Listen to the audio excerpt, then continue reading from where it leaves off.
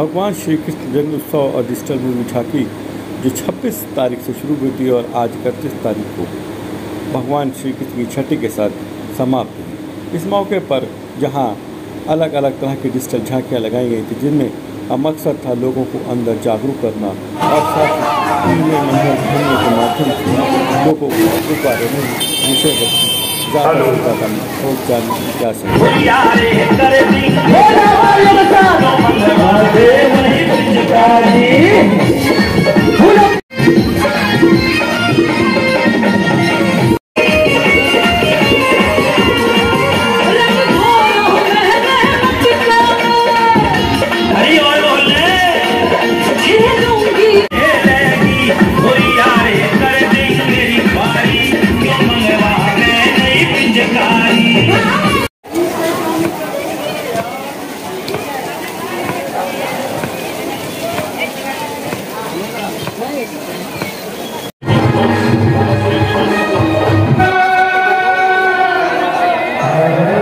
Animated झांकी जो कि नित्य प्रतिदिन बदलती है।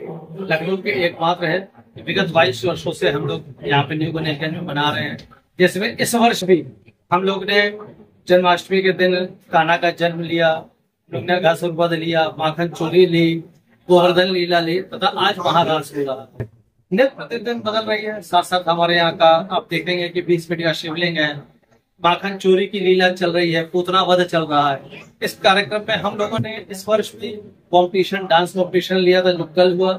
आज हमारा भजन संध्या का है शासन फूलों की होली है। आप हमारे पीछे देख रहे हैं सब राधा कृष्ण रूपी बच्चे आए हुए हैं। इन्होंने अभी फूलों की होली सबके साथ खेली है और अभी और खेलेंगे। क्योंकि कान्हा जी की मस्ती का है। कान्हा जी का जैसे कि फागुन में मस्ती का है वैसे ये जन्माष्टमी में कान्हा जी अपने आप में मस्त है। तो वही हम लोग आज बाबा के कन्हैया की छठी मना रहे हैं ये कौन सा जन्मोत्सव बना रहे हैं?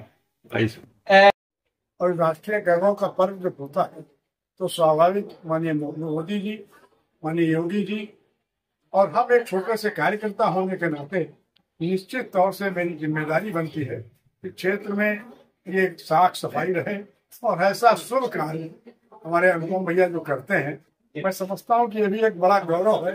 इतनी घनी आबादी के बीच में कृष्ण लीला का होता है रचना, और बहुत अच्छा होता है।